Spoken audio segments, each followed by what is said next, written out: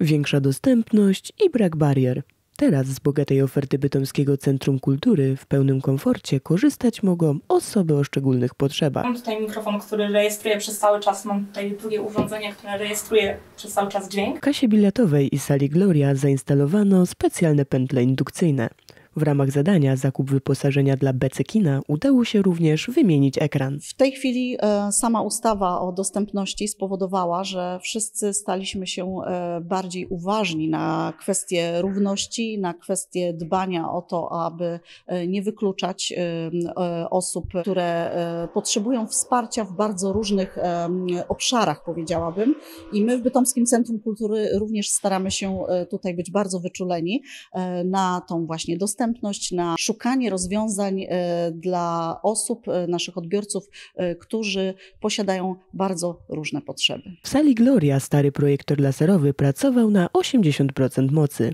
Instalacja nowego ekranu, oprócz kwestii wizualnych, to przede wszystkim lepsza wydajność. Po wymianie ekranu mamy projektor, który działa na 30% mocy.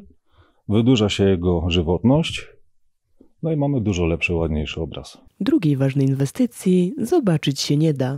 Pod salą kinową działa teraz specjalna sieć podobna do mikrofonów bezprzewodowych. Upraszczając to. Ludzie niesłyszący bądź z wadą słuchu, którzy mają aparat, mają tutaj wbudowany ten odbiornik, gdzie dzięki niemu słyszą, a sama pętla, pętla edukcyjna jest tak jakby nadajnikiem. I w tym momencie taka osoba, która nie słyszy, może sobie spokojnie obejrzeć film z dźwiękiem. Dzięki pętli indukcyjnej niepełnosprawni będą również w stanie samodzielnie zakupić bilety na wybrane seanse. W tym wypadku małe inwestycje okazały się ogromnym udogodnieniem.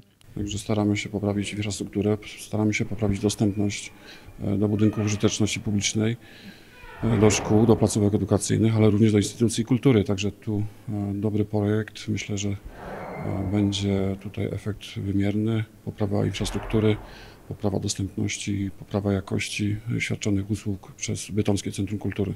Całkowity koszt projektu to ponad 111 tysięcy złotych. Na sumę składa się dofinansowanie z Polskiego Instytutu Sztuki Filmowej, wkład własny Bytomskiego Centrum Kultury i środki pochodzące z budżetu miasta.